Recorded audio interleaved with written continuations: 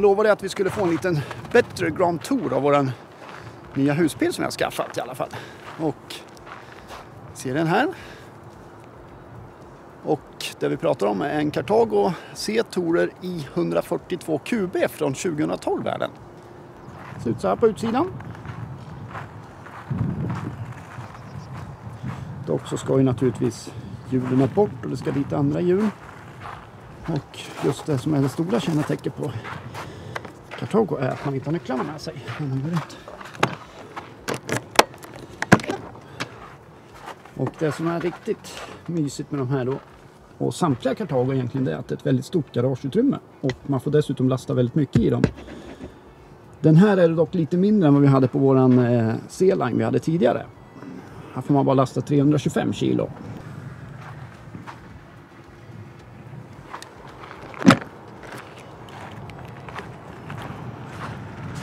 Och det där fönstret har vi konstaterat det är ganska mysigt men nackdelen är ju då att det sitter på bakväggen och blir ju väldigt smutsigt lätt. Och sen så kommer man ju även åt eh, garaget ifrån den där lilla luckan då. Och sen har man eh, toa, gasol och sen är det lite förvaring där framme som man även når inifrån då.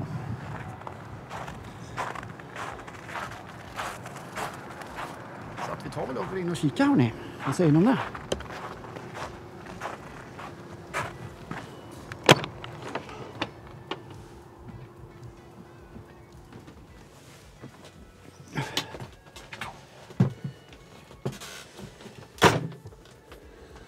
Och eh, här framme har vi ju sittgruppen då naturligtvis.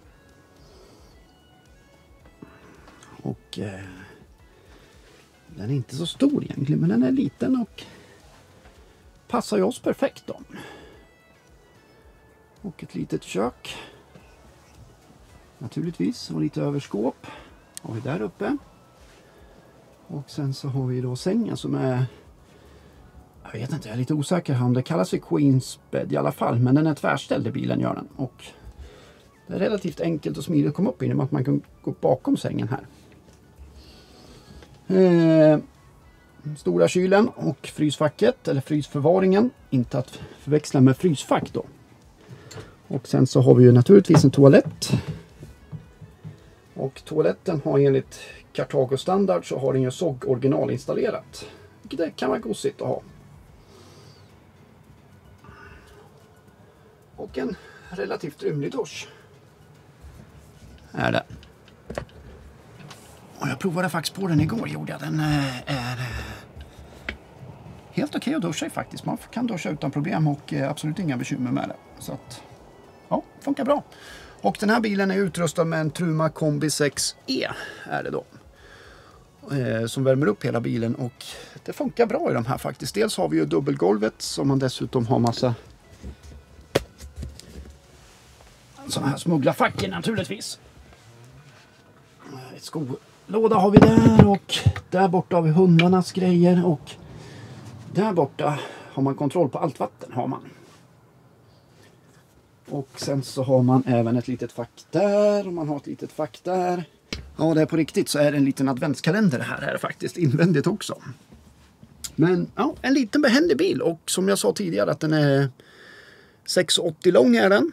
Vilket gör då att den är ju väldigt förnämlig när man ska ut och frikampa som vi tycker om. Och eh, totalvikt 4250 kilo väger den, totalvikten på den då. Vilket gör att vi har nästan 980 kilo i lastvikt tror jag det var. Lite osäker där, kan vara så. Vi tror att den kommer passa oss perfekt och den här helgen har vi varit ute och provat då. Vi har dels frikampat och vad kan ha, 70% kvar i batteribanken tror jag och då har vi definitivt inte varit sparsamma med strömmen den här gången. Utan öst på lampor och haft det mysigt. Och, ja. Det som är den stora skillnaden mot Craften det är ju det att vi har ingen kompressorkyl längre utan det är ju en Dometic eh, 8550 eh, tror jag den heter. Lite osäker på just modellen men 8-serien i alla fall. Och den går ju på gasol när vi frikampar. Eller som när vi står här i Västerås eh, gästhamn så har de ju ingen el där vi står i alla fall. Så vi har ju kört på bara batteribanken. Ja, den har ju också en eh, taksäng naturligtvis som man fäller ner man får fälla framstolarna först och så fäller man ner den så den kommer ner hit ungefär. Kommer den tror jag. Typ. Så att då kan man krypa upp och lägga sig där då för vad man skulle tycka att Eva är lite klängig eller lite mycket på. Eller om man har barnbarnen med sig som vi hoppas att vi ska kunna sno med oss och ha dem ligga uppe kanske. Eller så får de ligga där bak. Ja, det var hela Grand Touren var det. Så att eh, det här är vårt nya åkare. Och, och för er som då funderar på att kommer vi bara stå på ställplats eller, eller kommer vi luta kameran väldigt mycket? Eh, nej, vi kommer nog inte förändra, förändra vårt kampande nämnvärt faktiskt. Vi kommer nog frikampa i samma utsträckning som vi ska göra. Eh, det kommer dit likadana däck som jag haft på eh, Craften. På, kommer dit på den här också naturligtvis. För vi tycker att de har funkat bra och framförallt så riskerar man inte att köra fast. Ja, motorn då. Det är en Fiat Ducato 2,3 liters 130 hästars. Kommer göra någonting åt det också naturligtvis. För den ska nog besöka min eh, kära vän och eh, vapendragare eh, Lindblads bilservice. För en liten optimering är planen. Och sen så kommer det att piffas till lite där inne. Det ska i lite andra saker som ska i också som jag haft tidigare i alla fall. Eller uppdaterade versioner av de sakerna. Sitter en pytteliten inverter i golvet på 600 watt duger inte till någonting. Ska man ha en inverter tycker jag i alla fall så bör man nog inte köpa en som är mindre än 1500 watt. För man hittar alltid nya användningsområden för de prylarna också lite senare. Och köper man då en som är lite för liten så finns det risk att man får vissa problem. Den kommer slå av sig eller inte fungera som den ska helt enkelt. Eller utrustningen som man pluggar in i den inte fungerar. Så rekommendationen är 1500 watt minst i alla fall. Sen ska man få plats med den också vilket kan vara lite bekymmersamt i en del fordon men det går att lösa.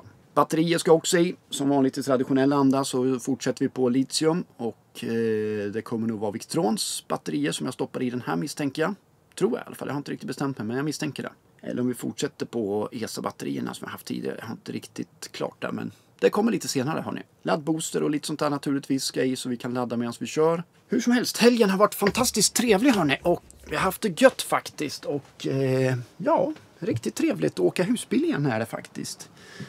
Hoppas att ni som har följt oss inte blir avskräckta i och med att vi har en husbil nu helt plötsligt. För vi kommer göra ungefär samma saker som tidigare. Att, eh, ingen större skillnad fast vi har en lite större bil och den är väl ja, nästan, nästan en meter längre i och för sig. Då, men same same but different tycker jag i alla fall. Men det är väl det som är planen på den i alla fall. Och sen så förhoppningsvis så får jag nya däcken till, eh, eller nya hjulen då till nästa vecka. Och det kommer lite mera, ni kommer få hänga med lite när jag håller på att fippla lite med bilen och eh, plockar i det som ska vara i den helt enkelt. Så att, Tusen tack för att ni har tittat. Eh, har ni inte gjort det, glöm inte bort att prenumerera. Tyckte ni om videon och är ni intresserade av det här? Tack, tack. Till och med Siri tackar. Mm, där är ni. Eh, ha det bra så länge och eh, kul att ni har tittat och eh, välkomna åter så ses vi på ett annat ställe från oss. Så säger vi bara ciao!